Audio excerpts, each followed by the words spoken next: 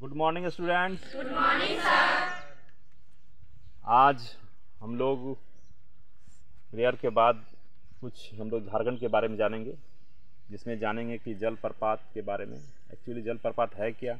Waterfall जिसको हम लोग बोलते हैं जिसे पानी ऊपर से गिर रहा हो ऊंचाई से गिरता हो उसको हम लोग क्या बोलते हैं? जल प्रपात बोलते हैं। क्या बोलते हैं?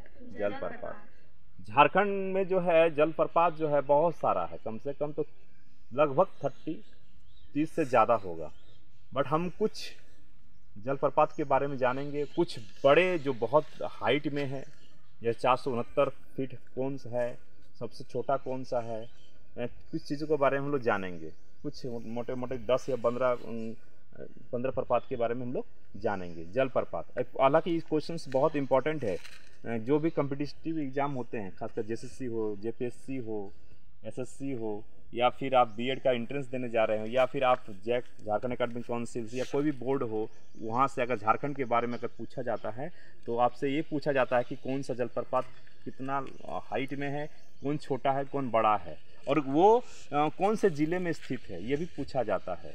तो हम लोग शुरू करते हैं शुरू करते हैं, सबसे पहला जो बड़ा है, उसका नाम है बूढ़ा बूढ़ा घाघ बोलते हैं, या इसको लोधा प्रपात जल प्रपात बोलते हैं। जो उसकी ऊंचाई जो है, वो आपका कितना है? चार सौ उनहत्तर फीट है, चार सौ उनहत्तर फीट। और ये लातेहार ज़िला के महुआ टाण में स्थित है। वहाँ है, महुआ टाण में स्थित है। और भी हैं, जिसमें आप देखिएगा उसका दूसरा नाम जो है शायद क्या नाम था उसका? पता नहीं हमको इसमें। क्या? साध्वी साध्वी था। साध्वी ना? साध्वी ही होगा। एक एक है लोधा, एक हुंड्रू प्रपात है उसके हुंड्रू प्रपात बोलते हैं इसको जो स्वर्ण रेखा नदी पर स्थित है और ये खासकर रांची में है, जिसकी ऊंचाई 322 फीट है। और तीसरा है लोअर घाघरी प्रपात, जो घाघरी नदी में स्थित है। और ये 322 फीट ऊँचा है, जिसमें नेत्रहाट लातेहार में है। ठीक है? उसके बाद आता है सधानी घाघ जिसको शंख नदी में के पास है इसकी ऊंचाई है आपका आपका 200 फीट है, ठीक है?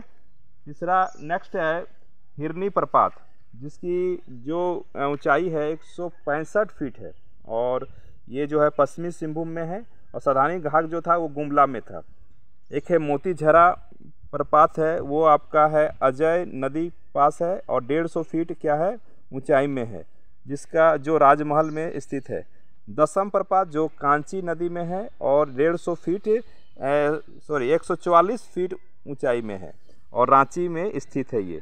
और अपर घाघरी प्रपात बोलते हैं तो ये घाघरी नदी है जो 140 फीट ऊंचाई में है, नेत्रहाट लातेहार में है। गौतम घाघ प्रपात जो है, ये 120 ऊंचाई 120 फीट ऊंचाई में है और महुआ टांड लातेहार में ही है।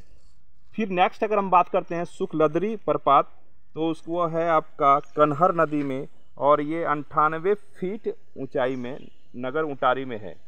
उसरी प्रपात जो है, उसरी नदी के पास है। ये 80 फीट ऊँचा है और ये गिरिडीह में स्थित है।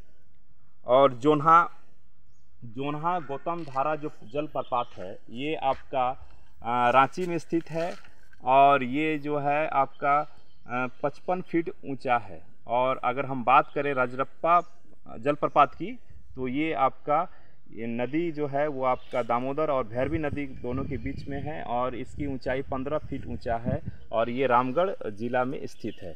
ऐसे बहुत सारे जलप्रपात आपके झारखंड में हैं, जिसमें हिरनी मैंने बता ही दिया, एक पंच घाघ है, बोकारो जलप्रपात है बहुत सारे अलग अलग ललपनिया जलप्रपात है बोकारो थर्मल जलप्रपात है, हजारीबाग में भी है, बहुत सारे हैं, बहुत सारे। जानने के लिए तो बहुत कुछ है, मगर कुछ कुछ चीज़ों के बारे में जानिएगा। जलप्रपात कौन सबसे ज़्यादा बड़ा है तो बूढ़ा या लोधा घाघ बोलते हैं। ये आपका बहुत ज़्यादा फीट ऊँचा है, चार फीट है। और अगर दसम फॉल की बात आ जाए तो दसम फॉल मात्र आपका 144 फीट ही ऊँचा है और ये रांची में स्थित है।